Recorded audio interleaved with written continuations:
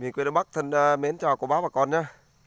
Đây đúng như lời hứa thì hôm nay em sẽ lên review lại uh, uh, cây rổi mà em trồng thí điểm ở trên này như đã hứa trong video trước nha các bác nhé. Thì các bác cố gắng theo dõi vì là video chia sẻ này thì nó rất là khô khan uh, và cùng mình luôn không uh, chỉnh sửa âm thanh gì luôn nhé các bác nhé. Đây các bác lưu ý đây uh, cây rổi này thì em đã trồng được uh, hơn 2 tháng này rồi. Em trồng tháng 2 năm vừa rồi đây, bây giờ uh, tháng 4 rồi thì cũng được hai tháng rồi các bác nhé. Đây cỏ bên dưới gốc các bác lưu ý là còn nó còn chưa mọc nha các bác nhé. Đây các bác có thể lưu ý đây là cỏ ở trên đồi nhưng mà đồi cao nhưng mà kiểu mới mưa nó mới xanh.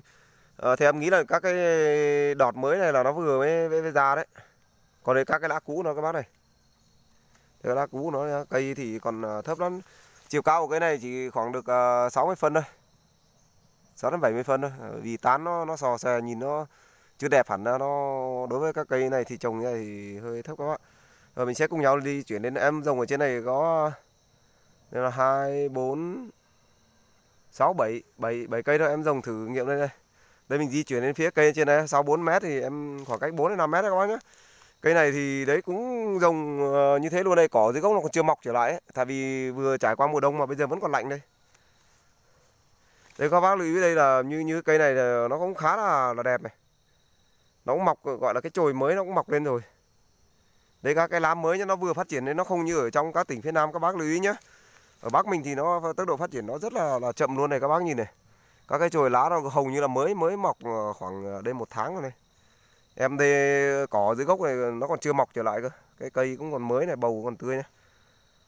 Đây như trường hợp như cây này cũng là đẹp mà. Cây lúc nãy uh, số một ấy còn chưa đẹp lắm đây.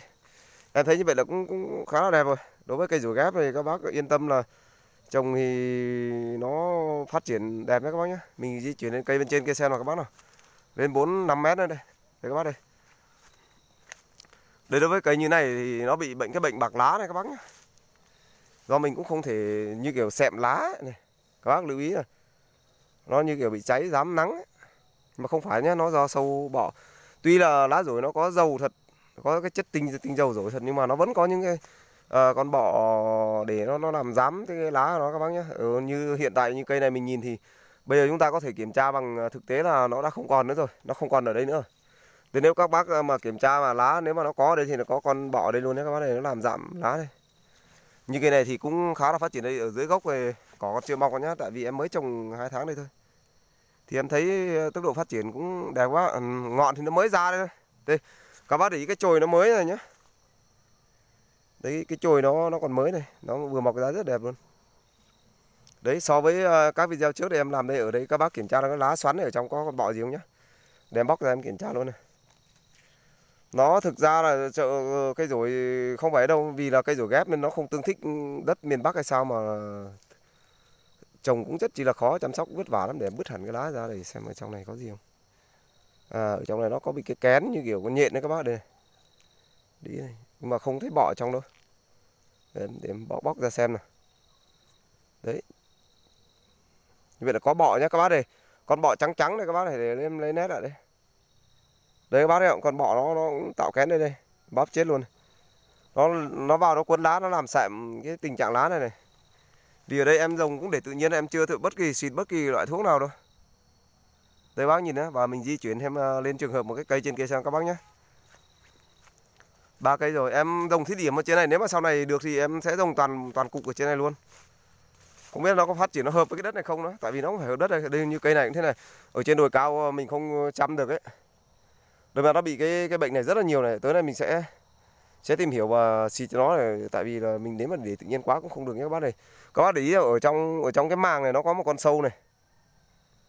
Đây đây các bác đây con sâu đây đây là con sâu nhé các bác nhé con sâu đậu kén này đây đây và nó ăn nó đẻ trứng đây nó tuy nó không hại hết được uh, Ờ, được cả cái lá đâu nhưng mà nó làm như như cây này thì ờ, nó có có thể là mình trồng cái này nó tốt hơn này. Ở dưới gốc cũng như vậy nhé lá nó cũng chưa cũng cũng cũng, cũng cỏ cũng chưa mọc được mà những cái chồi thừa thì nó không không lên này. Từ cái đoạn ghép lên đây các bác để ý đây từ cái đoạn ghép nó lên đây nhé đây mà lên đây nó phát triển cành như cây này thì tí nữa à, mình phải làm cái nặng để để để chống cho lên nhé các bác nhé chứ cây này cao này nhưng mà nó cong thế này thì hỏng cái cây mất này mình sẽ làm cái nạng để ờ, mình ờ, chống cho cái cây nó thẳng lên các bác nhé. Các bác chống khéo để nó đỡ. Hoặc là các bác có thể bứt bớt cái, cái, cái lá tại vì ờ, bản thân của nó cây còn non nó dẻo này. Nhưng cái lá này già là nhiều quá mình có thể bỏ hoàn toàn để cây nó nó gượng lên được này. Các bác có thể bỏ cắt bỏ toàn bộ những cái lá già đi. Để nó nó gượng cái cây lại chứ không bây giờ như thế này thì thành hình cong queo quá là xấu quá xấu cây quá. Đây bác nhé đây đối với như cái trường hợp này là các bác lưu ý này là cái sâu bệnh nó đang hại đây thì mình sẽ xịt thuốc để cho nó đảm bảo cái thời gian đầu đi. Đây cây đã xoắn vón lá rất nhiều đây. Đây em trồng thí điểm nên là ở miền Bắc nó khó lắm các bác em nhắc lại nhé. Đây ở cái vùng chiêm hóa tân quang này là như ở đây thì chưa có ai trồng đâu chỉ có em trồng thôi. Rồi ghép nhé các bác nhé. Còn nếu mà cây rổi hạt và cây rổi tự nhiên ở trên uh, khu vực miền em này thì có nhưng mà cái cây nó cho quả rất là thấp luôn, như ờ, có thể hai ba năm nó mới cho trái một lần, nên là em quyết định thử dùng cái giống lồi ờ, rồi ờ, ghép lạp sơn hòa bình này xem nó như thế nào các bác nhé nhưng mà thực sự là đối với đất miền Bắc mình thì thực sự để nó tương thích cũng cả một quá trình mà em đã dùng đợt này rồi mà như thế này là em cũng, gọi là, gần như là thất bại các bác tại vì cây mới trồng nó phát triển cũng khá đẹp nhưng mà sâu bệnh nó nhiều quá. Thế nên em sẽ tìm các cái phương pháp để chữa cho nó đây. Có em di chuyển các cái cây bên trên này này đây như cái cây này thì các bác lưu ý nhé, tại vì nó còn chồi còn non như vậy thì đây cái chồi còn non đây nhá cái, cái gốc ghép của nó ở trên này rồi. Trên này rồi các bác nhé trên này thì nó cái đọt nó hỏng ấy nó chỉ còn ra được một cái chồi này các bác lưu ý này. Có lưu ý ở đây nhé đây đây là cái chồi khi ghép của nó đây nhé mà nó lên cái đọt này và nó hỏng nó lên đọt này thì bây giờ đối với cái cây này ấy thì ta cứ để để nó lớn lên nó nuôi này lên và đừng cắt bớt vội này. Thì sau này nếu mà hai ba năm sau ấy mà nó phát triển đồng đều mà mà nó 4 năm mà nó ra quả thì chúng ta sẽ ghép trở lại các cái cành dưới bên dưới này để nó giữ cây cho nó đẹp. Đây mình di chuyển sang cây bên này đây các bác này. Đây đối với cái cây này này các bác này. Đấy đối với như cây này cũng cũng chỉ là ảnh hưởng do sâu bệnh thôi mà nó phát triển cũng khá là đẹp.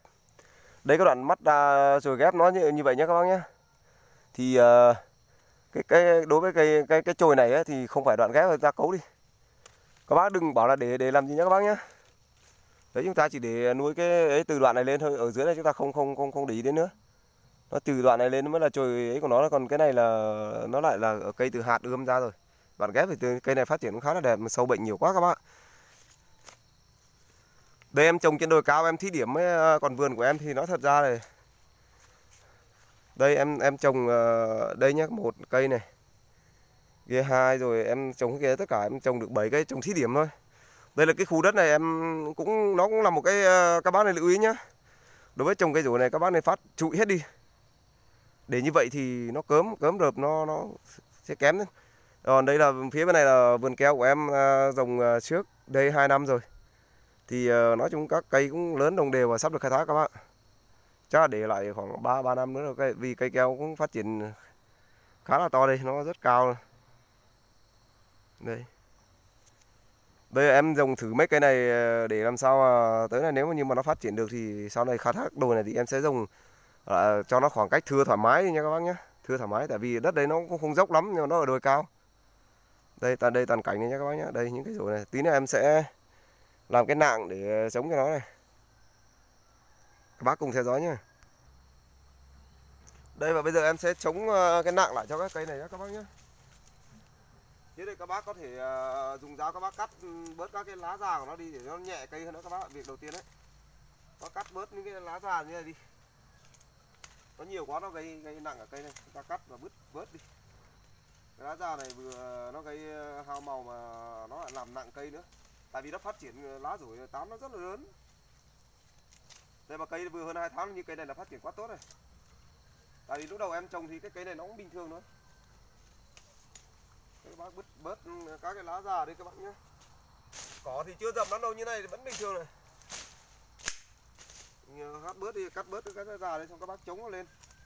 Chứ để cây cong kéo này là hỏng luôn cái cây rồi. Đây. Các bác sẽ tiến hành ờ, em đã chặt cái nặng đây rồi. Chúng ta chống làm hai cái nặng nhé các bác để ờ, cái nặng nó cao này và các bác chống phần ngọn này. Ta cắm xuống lựa lựa làm sao cắm để ta đỡ lên nhá đỡ, đỡ cái cây lên. Đây đó nhá em sẽ ờ, điều chỉnh đi, làm sao đỡ đỡ cho nó lên để nó nó lại cái hình, cái cây mới được. Như này chưa được này. Đỡ lên. Đấy, như này thì ờ, các bác thấy.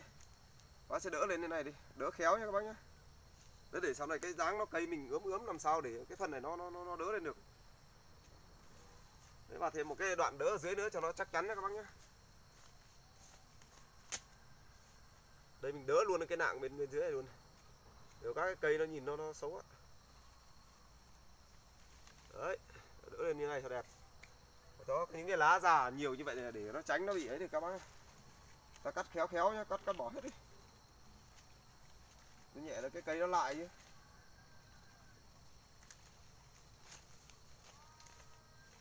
Đấy để uh, cắt những cái lá sâu bệnh lá sâu nó bệnh đi hết đi những cái phần bên dưới này nó từ cái đoạn gốc này lên là chúng ta không không ấy nhá.